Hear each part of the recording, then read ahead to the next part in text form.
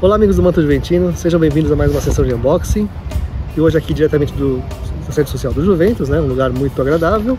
E agradável também essa nossa sessão de unboxing de hoje que não é bem uma coisa recebida, uma aquisição, é uma, um retorno, né?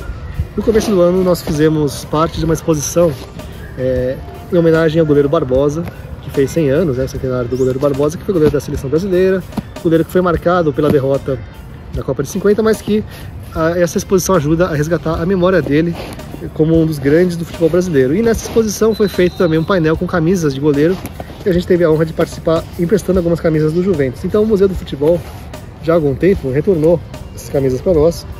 Tá até aqui o símbolo né, do museu, aqui, bonitinho. E eu achei que, que eles cuidaram tão bem, né? Com tanto cuidado, tanto esmero na, na, na guarda desse material que foi emprestado ao museu, que eu fiz questão de mostrar aqui como se fosse um unboxing mesmo.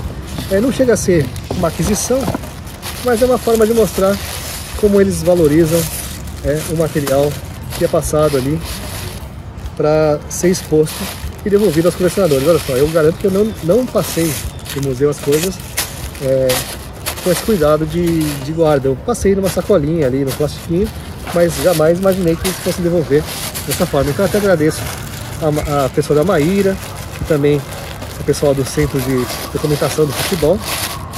É, peço permissão até para eu estar tá rasgando aqui, né? Porque a gente vai ter que fazer uma abertura desse jeito. Então essas camisas aqui foram emprestadas lá pelo museu, é, para o museu, aqui pelo Monte Juventino.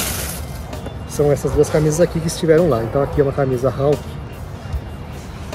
de 95, né? Camisa bem cheia de, de desenhos diferentes. E aqui é uma camisa Goalkeeper de 96, tá? Essas duas camisas foram emprestadas ao museu.